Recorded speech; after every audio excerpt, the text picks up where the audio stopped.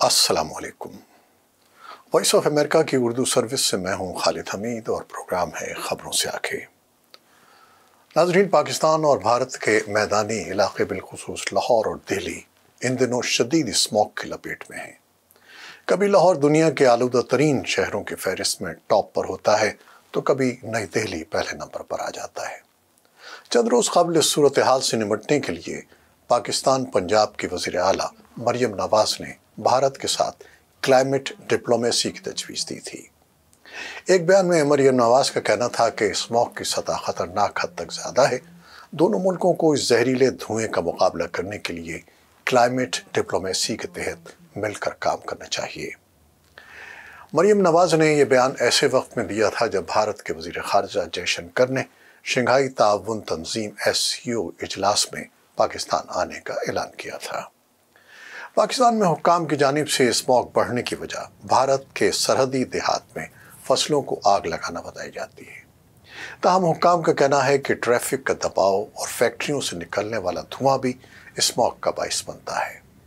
یہ محض اتفاق ہے کہ جس روز آئینی ترمیم منظور کی گئی ہے، این اسی روز لاہور فضائی آلودگی میں دنیا بھر میں پہلے نمبر پر آ گیا۔ تجویز پر کام وفاقی حکومت کو ہی کرنا ہے۔ ترجمان پنجاب حکومت اور وزیر اطلاعات پنجاب عظمہ بخاری نے وائس آف امریکہ کو بتایا کہ وزیر اعلیٰ پنجاب مریم نواز نے ایک تجویز دی ہے، جس پر کام وفاقی حکومت ہی کر سکتی ہے۔ محکمہ ماحولیات پنجاب کے مطابق پاکستان میں موسمیاتی سفارتکاری کا لفظ پہلی بار استعمال کیا گیا ہے، جبکہ دنیا کے کچھ ممالک میں یہ استعمال بھی ہو رہا ہے۔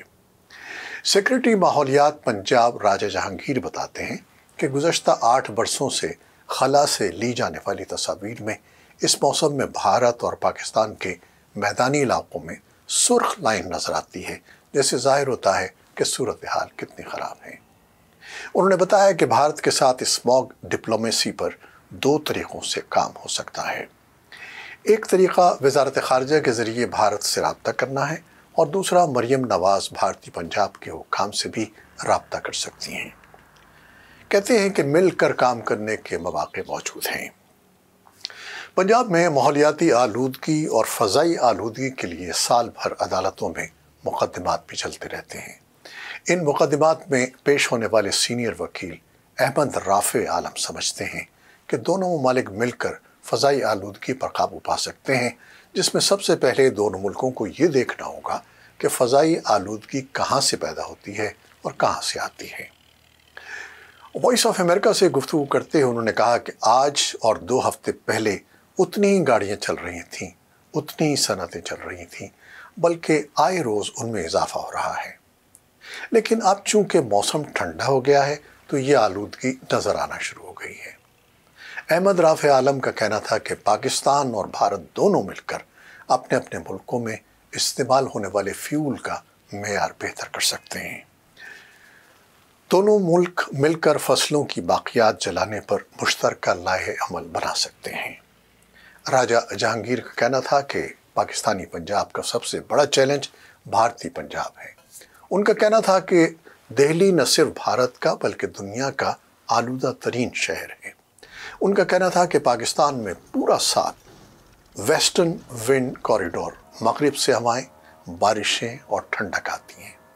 لیکن موسم بدلتا ہے تو بدقسمتی سے ایسٹرن ونڈ کوریڈور مشرق کی جانب سے ہوائیں چلتی ہیں اور بھارت سے سارا دھواں پاکستان آنا شروع ہو جاتا ہے، جس کا سب سے زیادہ اثر لاہور شہر پر ہوتا ہے۔ راجہ جہانگیر کے مطابق بھارتی پنجاب میں فصلوں کی باقیات کو جلایا جاتا ہے۔ ان کا کہنا تھا کہ اس سے پہلے کاشتکار پورے سال میں ایک فصل کاشت کرتا تھا اور اس کے بعد زمین کو خالی چھوڑ دیتا تھا۔ لیکن اب یہ رجحان بدل چکا ہے اور سال میں دو سے تین فصلیں اگائی جاتی ہیں۔ یہی وجہ ہے کہ پرانی فصل کو جلا کر نئی فصل کاشت کی جاتی ہے۔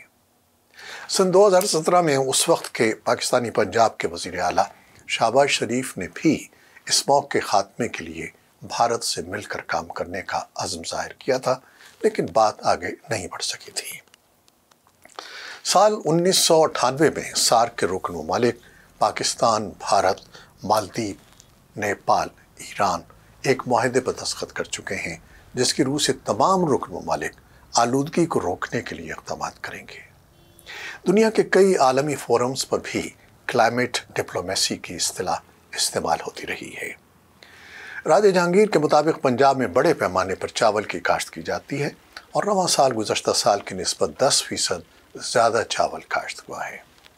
ان کے بقول کاشتکار جب اگلی فصل کی تیاری کرتا ہے تو فصل کی باقیات کو جلاتا ہے، جس کے باعث صوبے بھر میں اور خاص طور پر لاہور میں زیادہ دھواں آتا ہے۔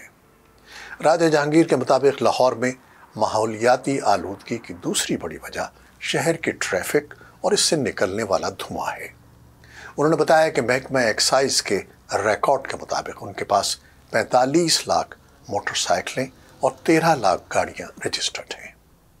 اس طرح لاہور شہر میں ہر روز اٹھارہ سو نئی موٹر سائیکلیں رجسٹرڈ ہو رہی ہیں۔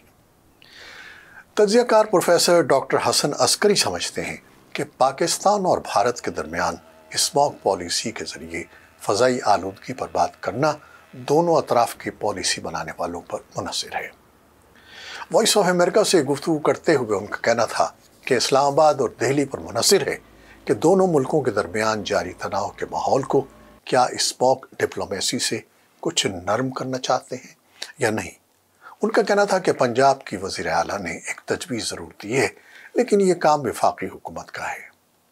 حسن عسکری کہتے ہیں کہ ایس سی او اجلاس میں بھارتی وزیر خارجہ کی پاکستان آمد اس بات کی طرف اشارہ ہے کہ دونوں ملکوں کے درمیان کچھ نرمی ضرور ہوئی ہے۔ اب یہ دیکھنا ہے کہ آئندہ سال جو چیمپئنز ٹرافی ہوگی اس میں بھارت اپنی کرکٹ کی ٹیم پاکستان بھیجتا ہے یا نہیں؟ بھارتی ٹیم کے آنے یا نہ آنے سے ایک دوسرا اشارہ ہوگا کہ دونوں ملکوں کے درمیان تعلقات کتنے بہتر ہوتے ہیں۔ تو ناظرین، آپ کے خیال میں کیا پاکستان اور بھارت کے درمیان کلائمیٹ ڈپلومیسی کارکر ہو سکتی ہے؟ اور اس کے نتیجے میں دونوں ملکوں کے تعلقات بہتر ہونے کے امکانات کیا ہیں؟ ہمیں ضرور بتائیے گا۔ نیوز پروڈیوسر عزیز احمد کے ساتھ خالد حمید کو اب اجازت دیجیے۔ اللہ حافظ۔